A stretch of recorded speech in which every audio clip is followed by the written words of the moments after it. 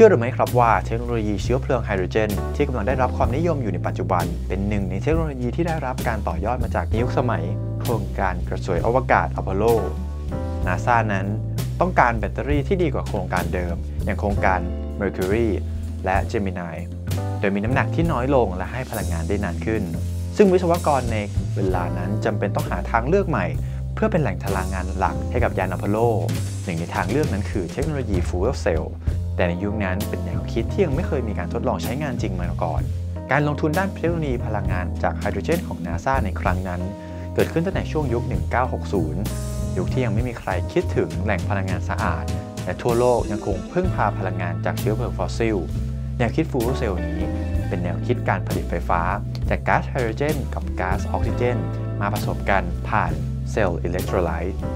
ซึ่งกระบวนการนี้ผลิตพลังงานไฟฟ้าออกมาและได้ผลพลอยได้จากปฏิกิริยาทางเคมี เป็นน้ำบริสุทธิ์ที่สามารถนำมาบริโภคได้ ในเวลานั้นนาซาให้เงินทุนวิจัยบริษัท 3 แห่ง ในการพัฒนา Fuel Cell สำหรับผลิตพลังงานไฟฟ้า และน้ำสำหรับนักบินอวกาศ ซึ่งนาซาได้เลือกบริษัท Pratt Whitney เป็นบริษัท Fuel Cell สำหรับยานอพอลโล และพัฒนาเครื่องกำเนิดไฟฟ้าหลักของยานกระสวยอวกาศ และต่อมาเทคโนโลยีฟูลเซลล์ของบริษัท Pratt Whitney ก็นำมาสู่การตั้งเป็นบริษัท United Technology Corporation และเป็นบริษัท h i เ x i u m ที่เป็นผู้นำด้านเทคโนโลยีไฮโดรเจนในปัจจุบัน บริษัทนี้ได้เปิดตัวเทคโนโลยีเพื่อการผลิตไฟฟ้าจากฟูลเซลล์ในเชิงพาณิชย์ตั้งแต่ช่วงปี 1990 และดำเนินการต่อเนื่องมาจนถึงปัจจุบัน เทคโนโลยี Fuel Cell ที่ใช้งานในปัจจุบันนั้น ก็มีต้นแบบและองค์ความรู้ จากเทคโนโลยีของโครงการอพอลโล และกระสวยอวกาศทั้งสิ้น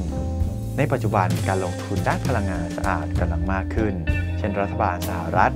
มีแผนในการลงทุนในการจัดเก็บพลังงานไฟฟ้า